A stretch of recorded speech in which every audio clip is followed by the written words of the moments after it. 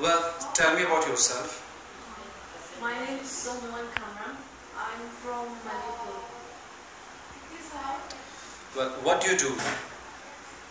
I work as a staff nurse in Jaipur, Swastik. What's your qualification? Uh, I completed my BSc nursing from Hyderabad.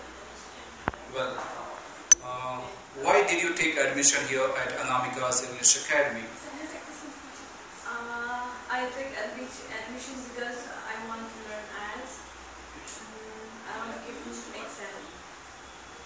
What do you mean by IELTS? IELTS means uh, International English Language Testing System. Since how long have you been learning here at Anamika's English Academy for IELTS course? I have been learning since uh, one month. So, what did you learn so far?